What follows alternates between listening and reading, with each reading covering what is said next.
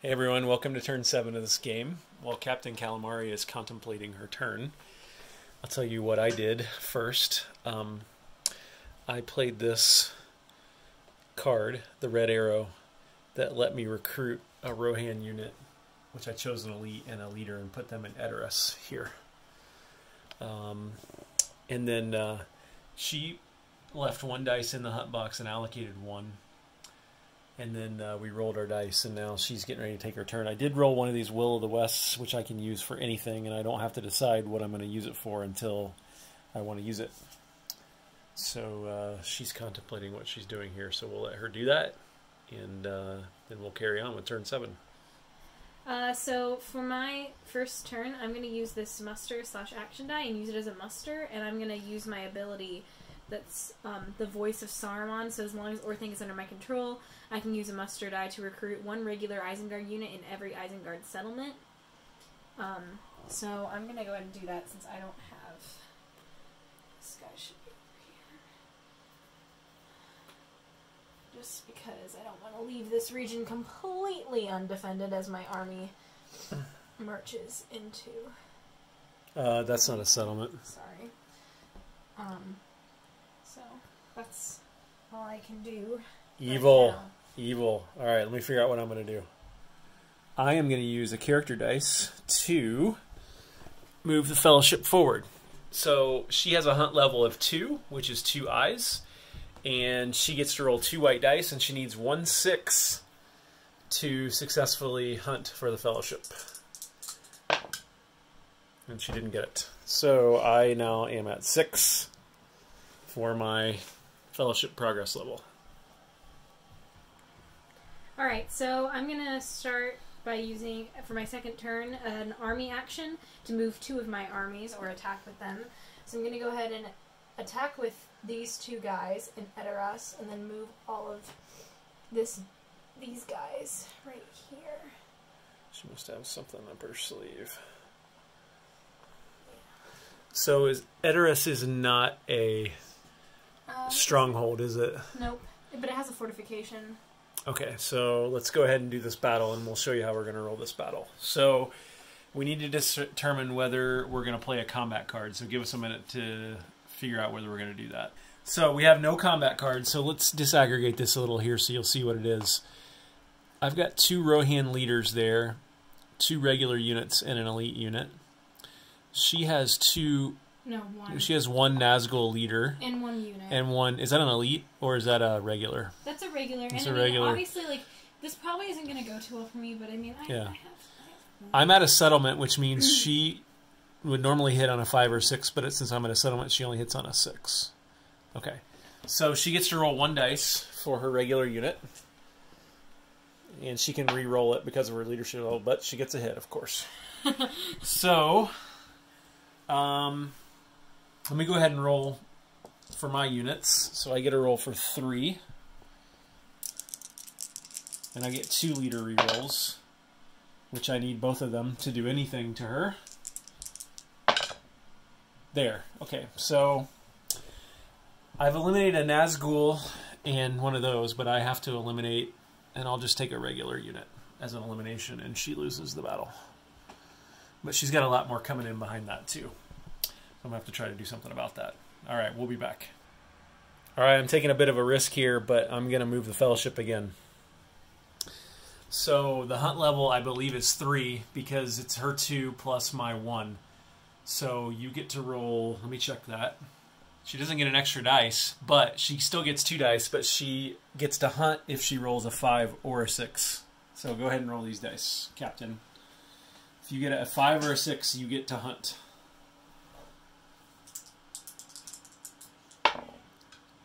Oh. So she gets to hunt, show us what you've drawn. Okay, uh, no, right here. What? You weren't, it wasn't on screen. All right, let's figure out what that is. So this means that I'm revealed. This means that she does a number of damage to me equal to the number of successes, which was one. So I'll take one more corruption. But I have this little card here, play on the table if both Merry and Pippin are in the Fellowship. They are. After the Shadow player draws a hunt tile with a reveal icon, you may discard this card to ignore the effects of the reveal icon. So I will do that. So I have moved forward seven, and I am not revealed. Yeah, I cannot find the damage- hobbits. Damage to you. All right, let's see what she can cook up now.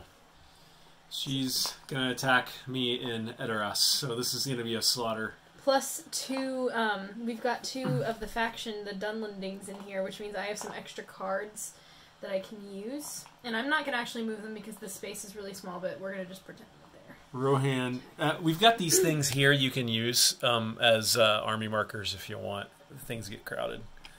Um, so let's go ahead and do this battle. So since she has the Dunlendings faction in here, she can use one of their um, faction cards as a combat card. So what are you playing? I am using Old Hatred. Essentially, what this means is um, before the combat roll, I roll one die for each Dunlending figures. Now, if I get a one, I have to eliminate one of them, but if I get a six, I score a hit. All right. So don't you So go I ahead and roll two. that?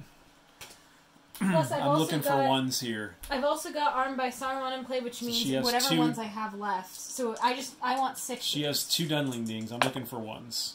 no. Okay, so, I nothing. Didn't do anything. All right. However, both of them do count to the overall strength of my army. Because Saruman is a pain in my butt right now. I think I used my March of the Ents card way too early, or I could be going to take him out right now. So you have you can only roll a max of five dice, so she definitely has at least five units. So she rolls five dice, and she's looking for sixes. One. She got one, and she can do one leader reroll. Now, because I also have Saruman, each of my elites in that army also count as leaders. So actually, I get one, two, three leader rerolls. Gosh. So there's one hit. And she got the second hit. And is that it? Yes. All right. So two hits to me, and I get to roll two dice, and I hit on fives or sixes. And I get two rerolls. That doesn't count. It's outside. So now I get two rerolls, and I got zero hits. So I am dead, and she has taken Edoras. So put your stinking little evil marker on there. and my dead pile here is getting pretty significant. I also. uh, That's my dead pile, and that's what I have left to recruit. So maybe slightly more than she has to recruit, but she's got way more on the table than I do. Okay, so, So Rohan has officially. completely Rohan has capitulated. Okay, on my recruit dice, I have a recruit action. So I am For going faction. For faction. for a faction. Yes. So I am going to recruit an Ent and place him in the Entwood. And I have one dice left, which is the Will of the West, which I can use for anything. So let's see what Doctor Evil over here can come up with now. I'm gonna do something fairly interesting. We'll see how. you have four dice left. Yes, I have Oh, four boy. dice left. Well, but you're gonna. I'm gonna use my character die, and I'm gonna play this card called the Lidless Eye. So this is, I use this to change up to three unused shadow action die results into eye results and place them in the hunt box immediately. So I believe this will allow me to hunt again. I think that's what that means. So now I have Mm. four. Only if I move the Fellowship. Well, no, it, it allows me. I place them immediately, which means they they let me hunt again. I think. Mm-mm. Let me read it. Let me pause. Okay, so we had an interpretation there, and she decided not to put those dice in there. So she's decided on a different course of action. Um, I'm going to use this is a wild die, so I can use it for either the recruit faction or play draw faction event. I'm going to use it to bring the Corsairs of Umbar faction into the game. Um, so what I'm going to do now is I'm What are gonna, the conditions for that? if the Southrons and Easterlings are at war, which they are. All right. Um, so now I flip them over, and I start by getting three of these beautiful boats here in Umbar, and that's it. All right. Sounds dangerous. All right, let me figure out what I'm going to do. I am going to change this to a muster dice, and I'm going to use that to recruit um, probably more people for the north.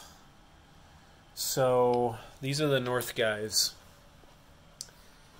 And I can use. I think I can do a leader and one regular in any two different friendly and free settlements. So I take two leaders and two regulars. And I will put one of the regulars and leaders here. And I will put another of the regulars and the leaders right there. All right, over to you, Captain. So, Captain is going to conduct a siege round in, um, that's Lorien, right? Mm-hmm. So I've got two elites and a regular and a leader inside. Sieges usually last one round. She has to roll a six to get a hit. I roll a five or a six.